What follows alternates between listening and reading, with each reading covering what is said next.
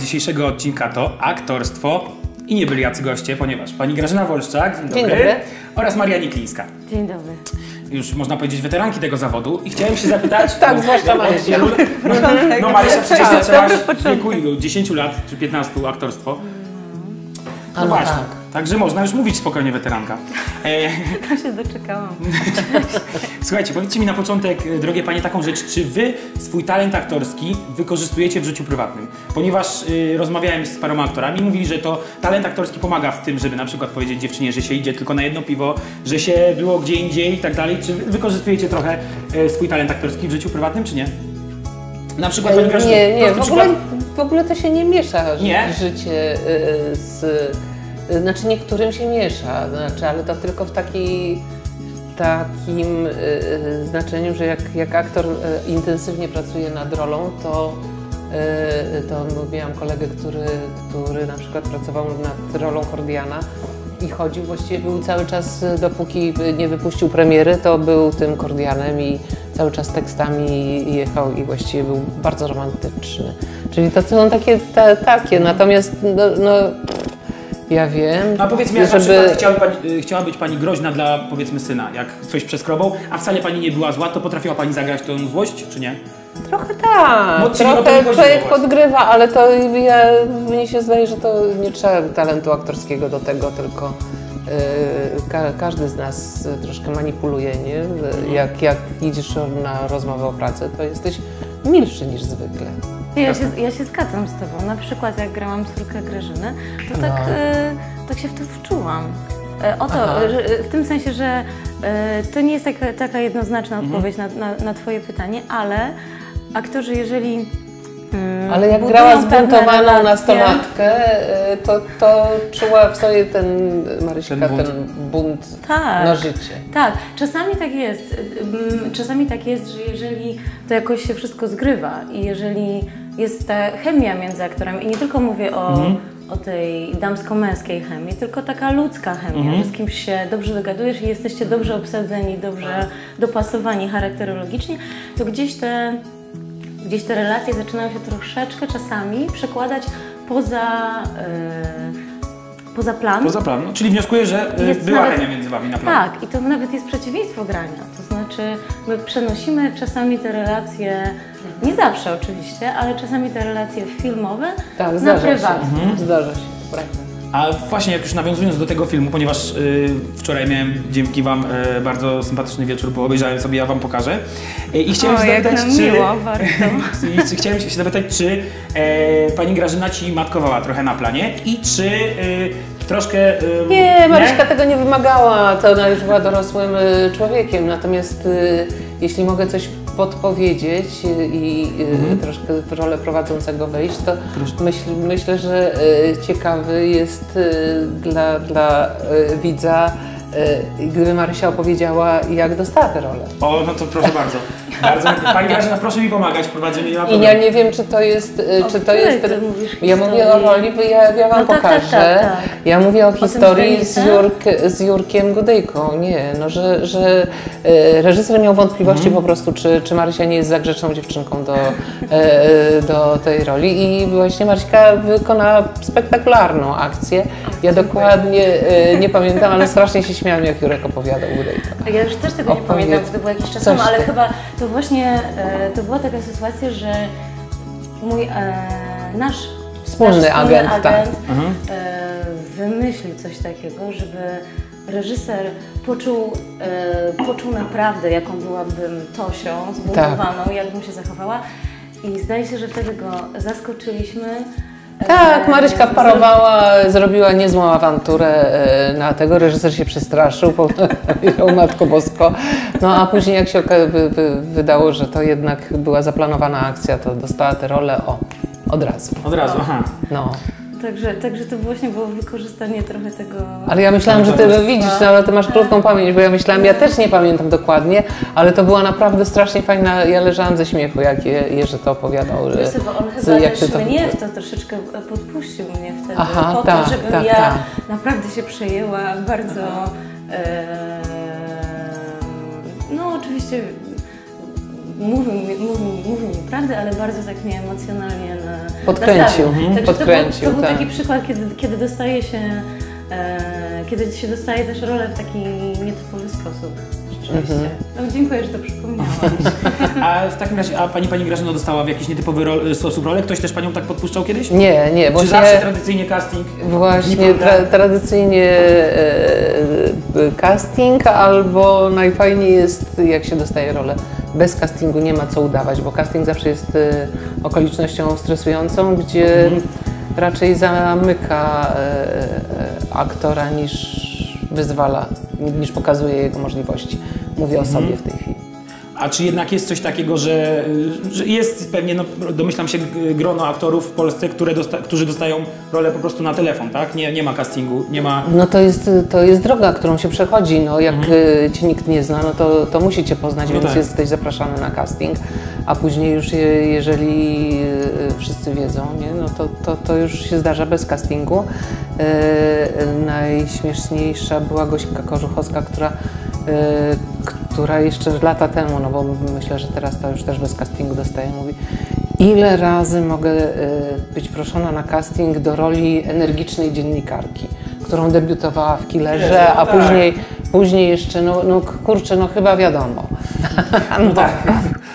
E, powiedzcie mi, jaka jest różnica między pracą e, w filmie, może teraz Maria zacznie, e, po- pomiędzy pracą w filmie, teatrze i serialu i co najbardziej e, lubisz z tych trzech rzeczy? Pewnie ciężko to porównać, domyślam się, bo każdy ma swoje tam plusy i minusy, ale Mm.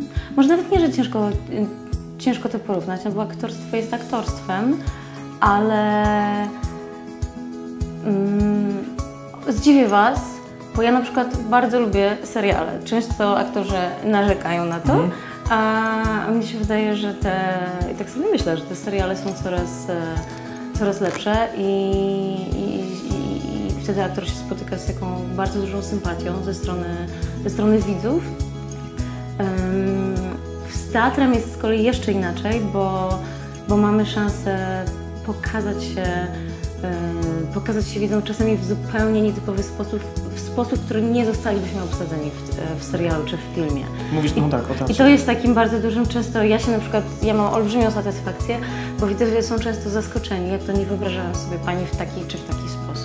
Więc tutaj, e, więc tutaj rzeczywiście ta, ta technika aktora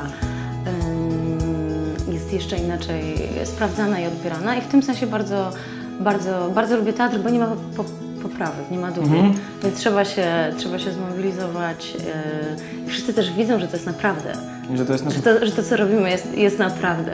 Aczkolwiek powiem Ci, że zdziwiłaś mnie tą odpowiedzią, bo ja bym obstawiał, znając Ciebie, że teatr, bo byłem na Twoim spektaklu Między Łóżkami w Teatrze Tak, Kapitol tak. i myślałem, że Ty się tam czujesz jak ryba w wodzie, ale mówisz, że jednak, że serial, no także... Nie, trochę, trochę sobie powiedzieć. chyba tak przewrotnie, przewrotnie chyba odpowiedziałam, bo tak wszyscy Nie. narzekają na te seriale. Tak naprawdę to są wszystko te same strony, różne strony tego samego zawodu, więc, y, y, y, więc każde, każde to, to medium daje y, inne możliwości y, dotarcia do widza i, i, i ma swoje zalety i, i swoje wady. Y, Ja akurat se- serialu może na- najmniej rzeczywiście lubię, bo, bo, bo to jest no, takie zwy, zwykłe życie, żeby nie Zależy powiedzieć. jaka- y, zależy jaka rola żyćko. też. No tak, Nie to zależy jak jest myśli, tak? tak, ale to, to zależy jak jest napisana rola, oczywiście.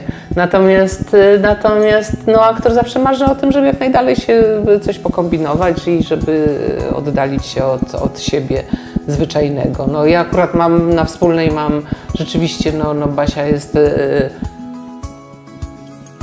no taką gospodynią Normalnie, wiesz, może, tak.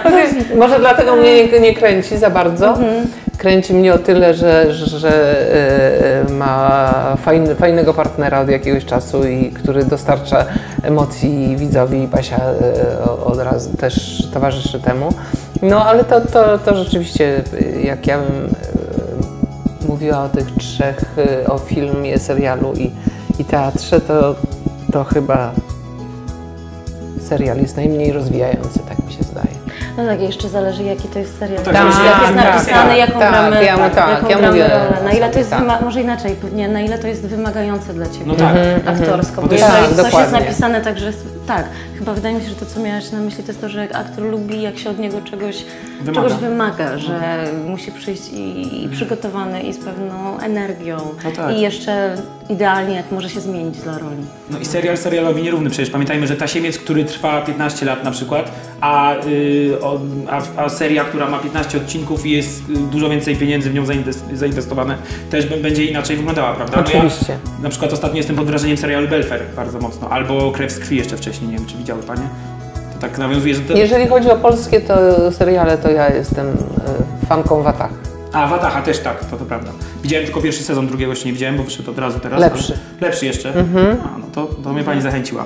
To jest prawda, ja tego nowego, nowego e, sezonu nie, nie widziałam. Ale jest tak wiele fantastycznych seriali, akurat też e, polskie są coraz, coraz lepsze, ale też tych, tych zagranicznych, że właśnie ja to pojęcie e, serial e, już przestaje być czymś e, takim deprecjonującym e, aktora. Chciałbym jeszcze nawiązać do tego, co wcześniej trochę mówiliśmy, a propos tego Kordiana, że jak jeden z aktorów przygotowywał się, to był cały czas romantyczny.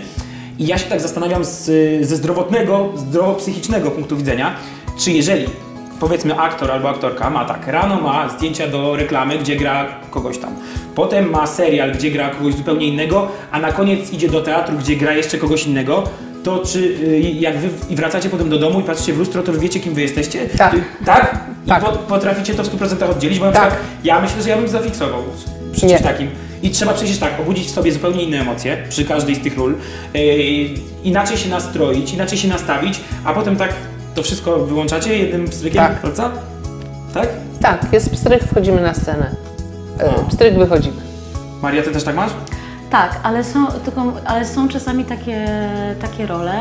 Wydaje mi się, że to jest wtedy właśnie luksus, jeżeli masz czas wejść w nią i się w nią Pomyśleć, pochodzić i, z nią, tak. Tak, i trochę i ona bardziej z tobą zostaje, ale wydaje mi się, że ten pstryk, to wchodzenie i wychodzenie to jest konieczne, żeby właśnie nie zwariować.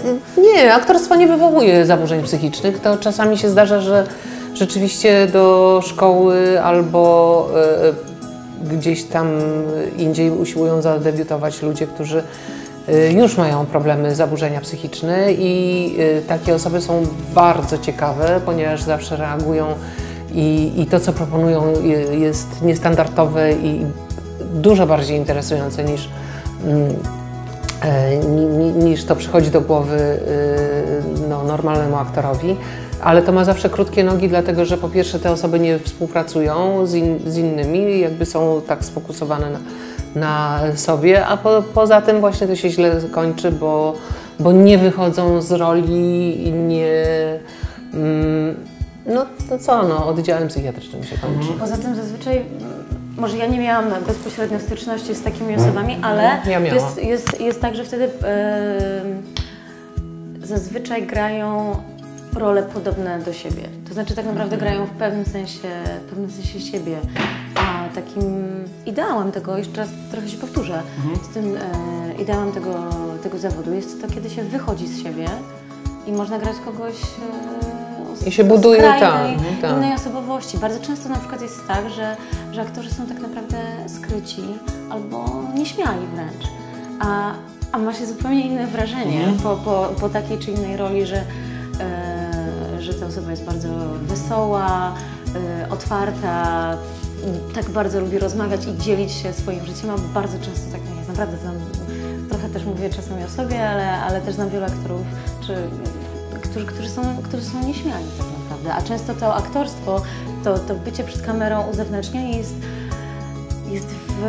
Właśnie czym to jest? to jest, to jest sprzeczności jakiś. czasami w, No. z, ich, e, z ich naturą. E, Czym to jest? Nie, y, właśnie no, zastanawia mnie to, bo to już jest jakiś dla mnie ekstremalny paradoks, no bo Dlaczego? ktoś, no to chce- jest, buduje się rolę, no to na tym Ale polega dobrze. ten zawód, że budujesz, e, budujesz rolę, wyobrażasz sobie jaką, na podstawie jaką przeszłość miał, e, miała ta postać, jak, jak ona reaguje w danych okolicznościach, kim jest, e, jaki ma temperament, no i, i, i na tej podstawie budujesz postać, no i, i, i Dlaczego? Tak samo jak e, ktoś niezwykle energiczny może zagrać introwertyka, tak też odwrotnie też. Ale pani Grażyno, no ale jak ja na przykład rodzę się nieśmiały, to ja No. chcę być y, cichą y, panią w urzędzie albo kimś, kto się nie rzuca No w to oczy. nie idziesz do szkoły y, teatralnej, aktorskiej i, i nie uprawiasz tego zawodu. A właśnie, ale przynajmniej mówię, jakie jest moje wyobrażenie, a jakie jestem właśnie śmiały, chcę być kurczę gwiazdą i tak dalej, no to idę sobie do szkoły aktorskiej albo nie wiem, na jakieś inne zawody, które są na świeczniku, tak? Jest ró- różnie. Czyli to, nie ma takiej to, to uprawianie zawodu, y, tego zawodu i świecznik, o którym Mhm. mówisz, no to, to, czasami się pokrywa, ale czasami się nie pokrywa. Mhm. Dziękuję Wam bardzo za pierwszą część wywiadu, a my widzimy się dokładnie w tym samym składzie, dokładnie w tym samym miejscu, ale za tydzień. Dzięki wielkie. Dziękujemy serdecznie firmie UFO Media, która pożyczyła nam sprzęt do nagrywania oraz dziękujemy firmie Orfi, a ja zapraszam Was do najnowszego singla Marii Klińskiej o nazwie Make It. E, Link będzie w opisie, a ja zachęcam oczywiście do łapek w górę, subskrypcji i oglądania oraz rozpowszechniania naszego wspaniałego kanału. Dziękuję bardzo. Y, Sceny y, rozbierane i erotyczne są wpisane w ten zawód, y, bo gramy różne emocje i różne sytuacje z życia człowieka, a jedną sytuacji życia człowieka jest y, intymność.